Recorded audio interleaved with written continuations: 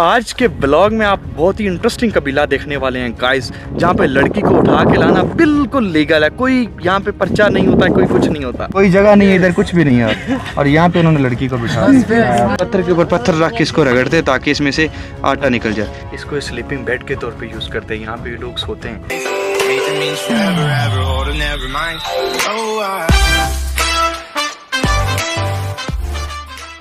अस्सलाम वालेकुम गाइस, आप मेरे पीछे ये बस दे सकते हैं, ये जो फोर बाई फोर गाड़ी है, जीप इसको बोलते हैं। ये हमारे नॉर्दर्न में, पाकिस्तान में भी आपने देखा होगा, लोग इसी पे सफ़र करते हैं। यहाँ पे भी ये फोर बाय फोर है, लेकिन बड़ी है। इलेवन सीटर, या ट्वेल्व सीटर है, मुझे नहीं पता सीटें कितनी इसके अंदर। सीटें यहाँ पे तीन ही है, लेकिन यहाँ पे चार चार, पाँच पाँच लोग एक एक रॉ में बिठा देते हैं। और यहाँ से ये करातो है टाउन यहाँ से हम आज लेकर ऐसे की तरफ़ जाने लगे हैं। बेसिकली ये जो हमारा सफ़र है, ये वो दतोगा ट्राइब और हरजाबे ट्राइब के लिए हो रहा है। और आज हमें थोड़ी यहाँ पे सीट मिली है। बड़े बैगेज जो है हमारे ऊपर हमने रख दिए। ये हमारे कंडक्टर भाई हैं।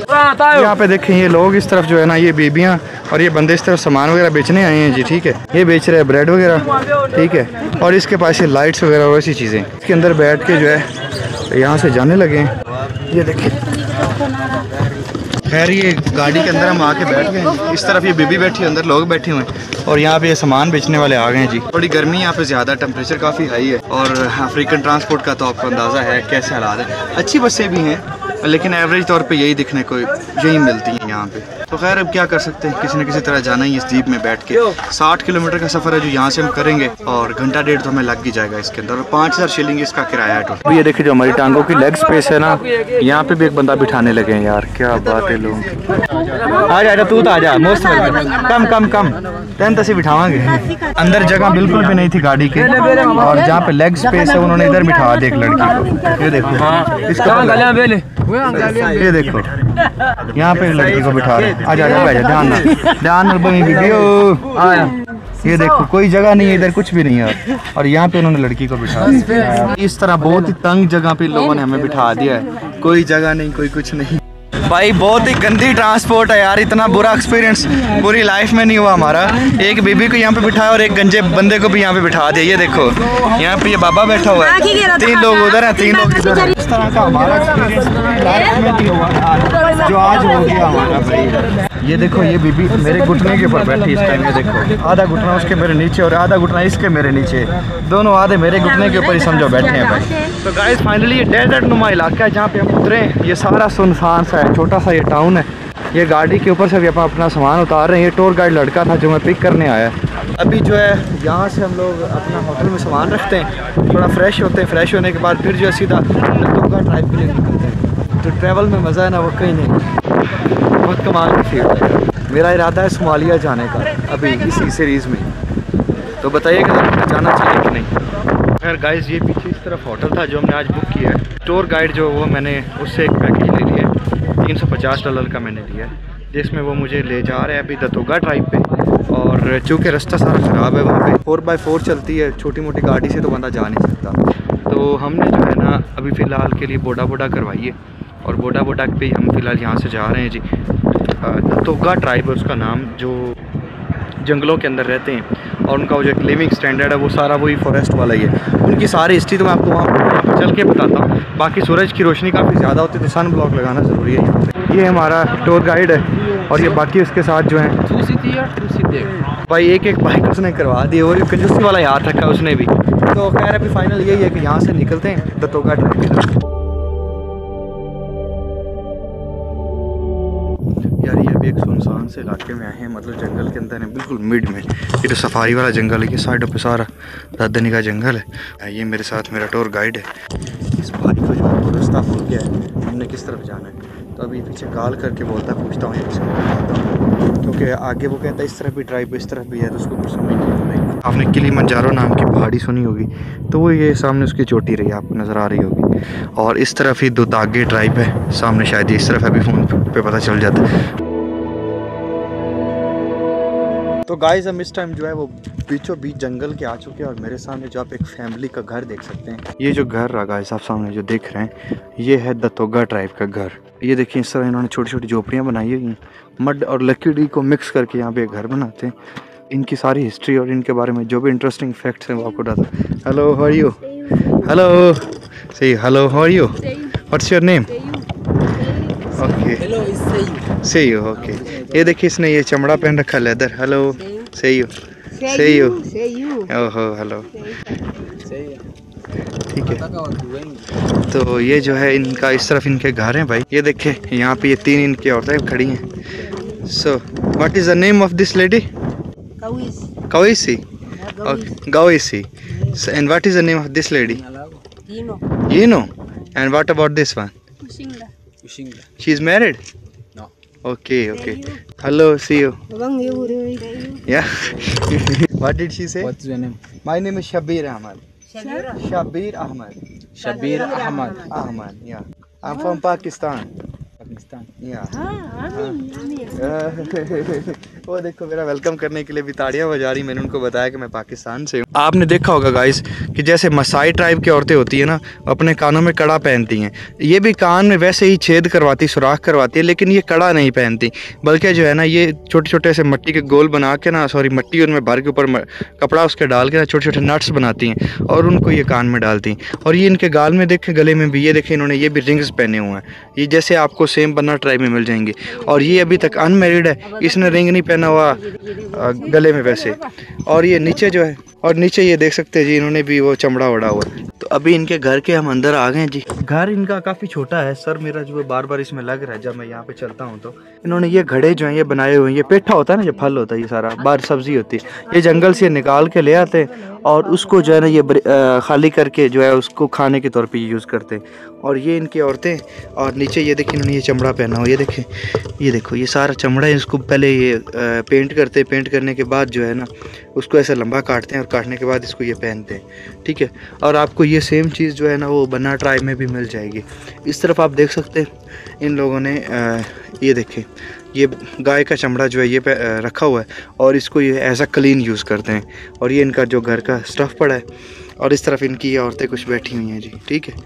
यहाँ पे जो औरतें जो है ना वो आटा उसको मक, मक्की जो होती है उसके दाने लेके डू इट दिस अब ये देखें यहाँ पे ये आटा निकाल के दिखा रही है। मक्की के जो दाने हैं ना उनको ये आटा बना रही है। उसके ऊपर रखती है पहले इसको भून लेते हैं। भूनने के बाद इसको ऐसे पत्थर के ऊपर पत्थर रख के इसको रगड़ते हैं ताकि इसमें से आटा निकल जाए। थैंक यू थैंक यू जैसे हमारे यहाँ चक्की यूज़ की जाती है ना लेकिन यहाँ पे ये चक्की यूज़ नहीं करते बल्कि दो पत्थरों को यूज़ करते हैं और उसका जो है इनकी औरतें यहाँ पे निकालती हैं। ये इनकी जो है कि एक इस तरह की रवायत है। ट्राइब की एक लड़की के साथ मैं मौजूद हूँ। What's your name and how old is she 18. 18 okay तो भाई इसकी एज जो है वो 18 साल है और यहाँ पे ये ट्राइब के अंदर रह रही हैं। इस तरफ़ जो है इन लोगों का बेडरूम है गाइस मैं आपको दिखाता हूँ। आ, ये अंदर एक लड़की खड़ी है। ये स्लीप देयर ओके ओके या या या आई कैन अंडरस्टैंड तो और ये उनके साथ में जो है वो इनके बॉडी कैन यू मूव में सिट ये देखिए जी, मैं फ़िलहाल इनके वो बेडरूम में बैठा हूँ और मेरे साथ ये लड़की मौजूद है। और ये जो पीछे आप इनका ये जगह देख सकते हैं, इसको स्लीपिंग बेड के तौर पे यूज़ करते हैं। यहाँ पे ये लोग सोते हैं। ठीक है? और ये जो है, ये एक फैमिली के लिए, यानी हस्बैंड और वाइफ दोनों के लिए यूज़ किया जाता है। अब देखिए, मड का बना हुआ है और यहाँ पे कोई प्राइवेसी नहीं है, कोई प्रोटेक्शन नहीं है, ठीक है? सिर्फ़ और सिर्फ़ जो है ना, इन लोगों ने ऐसे छोटा सा एक दरवाज़ा लगाया हुआ है, ये देख सकते हैं आप। और इस दरवाजे की ही आड़ में ये लोग यहाँ पर सोते हैं, ठीक है? आपने अक्सर देखा होगा कि जो दूसरे ट्राइब्स हैं, वहाँ पर जो मियाँ बीवी के एजेंसी मामला होते हैं मियाँ बीवी के जो मामला होते हैं, वो लोग जाके जंगलात में परफॉर्म करते हैं। लेकिन यहाँ पर नहीं होता ऐसा। यहाँ पर इन्होंने सोने के लिए और बाकी के जो मामला परफॉर्म करने के लिए वो ये बेडरूम बनाया हुआ है। और दूसरी बात मैं आपको बता दूँ कि जैसे ने आपने मसाई ट्राइब में देखा होगा कि औरतें अलग सोती हैं और मर्द अलग सोते हैं, लेकिन यहाँ पर ऐसा नहीं होता। यहाँ पर जो मर्द होता है ना, वो अपनी औरत के साथ ही सोता है, क्योंकि उसकी रीज़न ये है कि यहाँ पर एक औरत को हासिल करना बहुत मुश्किल होता है उसके लिए। वो इसके लिए बहुत पैसा देता है और ज़्यादातर यहाँ पर ज़बरदस्ती उठा के औरत को लाया जाता है, यानी वो जो औरत उसको पसंद आती है। तो जिसके साथ, जो ज़बरदस्ती जिसको उठा के वो ले आता है उसी के पास ही सोता है, क्योंकि उसके माइंड में एक डर होता है कि ये कहीं भाग ना जाए। तो वो उसका बहुत ज़्यादा ख्याल रखता है। से हाय या तो अभी मैं इस बीबी के साथ बैठा हूँ यहाँ पे और ये पीछे उनका बेडरूम है भाई। कच्चा सा है ना कोई एसी ना कोई air condition even bulb light electricity कुछ भी नहीं है यार यहाँ पे। लेकिन इस तरह का इनका लिविंग स्टैंडर्ड है यार। मैं हैरान हूँ कि यार ये लोग किस तरह इसमें रह रहे होंगे। ये लुकिंग ब्यूटीफुल या तो भाई या तो इस तरह का इनका लिविंग स्टैंडर्ड है भाई। Thank you so much thank you तो भाई यहाँ पे ये लोग रहते हैं जो मैंने आपको इनका घर दिखाया। अभी आपको मज़ीद चीज़ें इनके बारे में इंटरेस्टिंग फैक्ट जो वो बताता हूँ। अभी बहुत कुछ है जो मैंने आपको बताना है और दिखाना भी है। दिस इज़ फॉर मिल्क हाँ चुआ चुआ ये बता रही है कि जी ये जो बर्तन हम यूज़ करते हैं ना ये दूध निकालने के लिए होते हैं। और what is this one. Ye ye le ha pamu. हाँ। Pamu ga giyesu. Hmm This is uh, like a glass of wine. Yeah. ये देखिए यहाँ पे ये सींग है भाई गा, गाय का ठीक है? और इसको ये गिलास के तौर पे यहाँ पे यूज़ करते हैं। क्या बात। This is for drinking local alcohol all right man all right Dia. हाँ। ओके ओके ओके तो सबसे पहले वो उसमें अल्कोहल डालती है लोकल अल्कोहल और डालने के बाद ये देखें उन्होंने उसके साइडों पे थोड़े थोड़े डिज़ाइन भी बनाए हुए हैं और डालने के बाद उस अल्कोहल को जो है ना वो इन बर्तन में डाल देती है जो इस बीबी ने पकड़ रखा है पता है ना वो इस तरफ़ लोहा वगैरह बना रहे हैं वो मैं आपको दिखाता हूँ और उसके बाद मैं आपको इनके सारे इंटरेस्टिंग फैक्ट भी बताता हूँ और इनकी सारी हिस्ट्री जो है वो वन बाय वन मैं आपको सारी यहाँ पे बताता हूँ देख ये देखें यहाँ पे लड़के काम कर रहे हैं और ये लोहे के तीर वगैरह बेसिकली बनाने में बिज़ी हैं ठीक है हेलो How are सही हो तो सही हो जो है इनकी ये लोकल ज़बान है। ये हेलो के लिए यूज़ करते हैं। सेयो और यू Say you. Know. Say you. सेयो Say you. सही मेहनत करने वाले लोग हैं भाई, और इस तरफ़ ये लोहे से सारी चीज़ें बना रहे हैं। इन लोगों का जो बेसिक मशगला है, वो है खेती बाड़ी, और उसके साथ साथ ये ब्लैक स्मिथ भी हैं, यानी ये लोहार और लोहे पतरी का सारा काम भी जानते हैं। अब मैं आपको एक मज़े की बात बताऊँ, इन ट्राइब्स के यहाँ जो नोट करेंसी होती है, वो बहुत कम यूज़ की जाती है, यानी पाँच परसेंट जो लोग हैं अभी तक तंजानिया की करेंसी यहाँ पे यूज़ करते हैं, वरना ये चीज़ों का लेन देन करते हैं, यानी चीज़ें देते हैं और उसके बदले में चीज़ें ही लेते हैं। और ये बाहर वाले लोगों से नहीं, बल्कि एक और हरजब ट्राइब जो सिर्फ़ शिकार के लिए मशहूर है, उसकी वीडियो भी मैंने बना के लगा दी है। तो उस, और ये जो कबीला है, ये किसी गाँव में नहीं रहता, बल्कि ये फैमिली टाइप फैमिली टाइप रहते हैं। यानी पचास एकड़ में एक फैमिली रह रही होगी, दूसरे पचास एकड़ में दूसरी फैमिली रह रही होगी।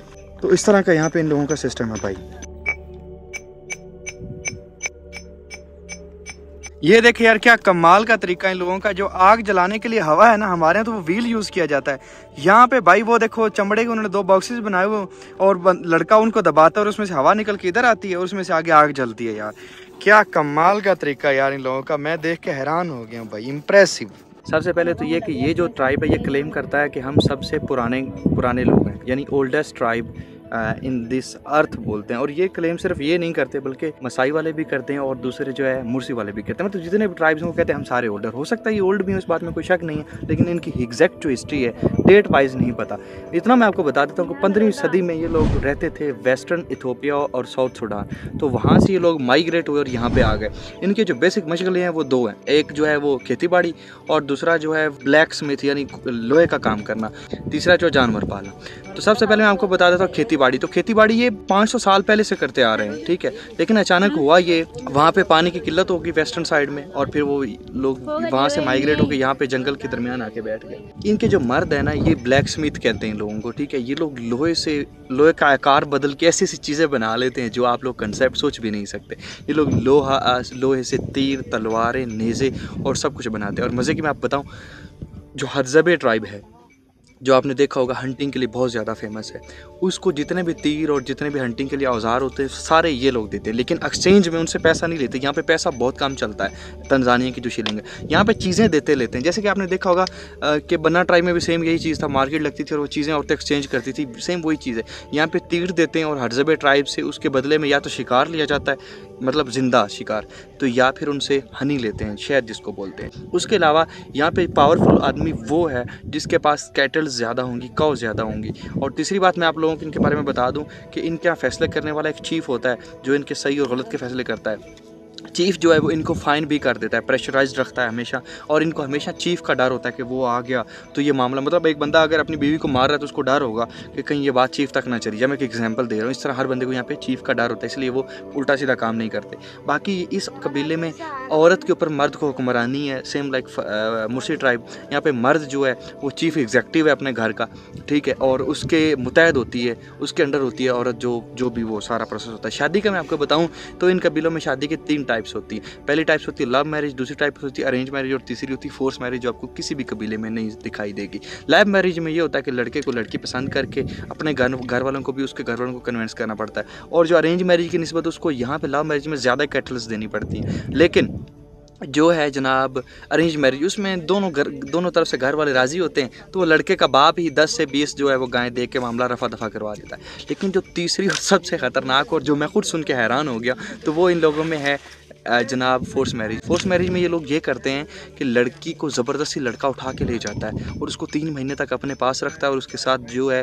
फ़िज़िकल मामला वो कायम होते हैं उसके, ठीक है? और तीन महीनों बाद लड़के का वालिद जाके, लड़की के वालिद को बोलता है कि तुम्हारी बेटी को अब हम उठा के ले आए, अब हम क्या कह सकते हैं? अब हो गया जो होना था। अब बेहतर हाल यही है कि तुम मान जाओ और जो गाय लेनी है तो ले लो। तो फिर लड़के, लड़की का जो वालिद होता है, उसको भी ज़्यादातर एतराज़ नहीं होता क्योंकि ये इनके यहाँ कल्चर है। तो वो भी सौ या पचास के करीब गाय लेके मान जाता है और इनकी जो टोटल तादाद है ना, वो सतासी हज़ार से लेकर नब्बे के दरमियान है। और ये सारे के सारे इस टाइम तंजानिया में रहते हैं। लेकिन अभी ज़्यादातर ये जंगलों में से निकल के, शहरों में शिफ्ट हो चुके हैं। थोड़े बहुत ही हैं जो अभी तक जंगलों में रह रहे हैं। और ये एक घर में नहीं रहते, बल्कि इन्होंने छोटे छोटे अपने पार्ट्स बनाए और उन पार्ट्स में ये डिवाइड होकर रहते हैं। यानी एक जैसे गाँव बनाते हैं, गाँव नहीं बनाते।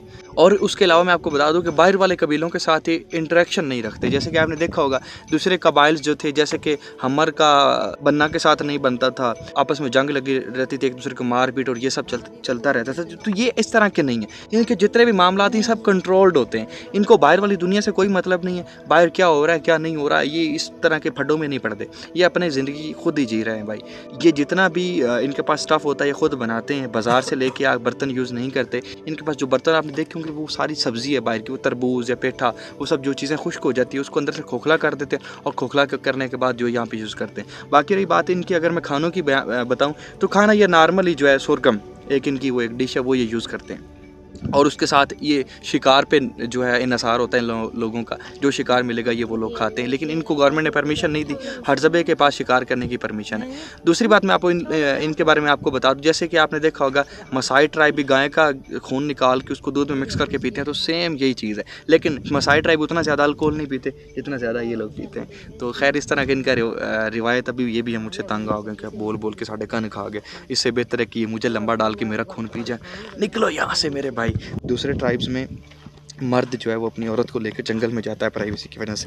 तो यहाँ पे जो कि वो औरत को ज़बरदस्ती उठा के ले आता है, उसको डर रहता है कि मैं जंगल ले में लेके जाऊँ तो वो कहीं भाग ना जाए। तो वो अब देखिए उसने प्रॉपर यहाँ पे दीवारें बनाई हैं गाइस ठीक है? और दो दरवाजे लगे हुए हैं जिनको वो खुद निगरानी रखता है क्योंकि वो लड़की को ज़बरदस्ती उठा के ले आता है इसलिए। तो वो जो भी अब बीवी के साथ मामला होते हैं, वो घर के अंदर ही परफॉर्म करता है, घर से बाहर नहीं जाता ताकि मामला डिस्टर्ब ना हो। yêu đâu mày đen dài.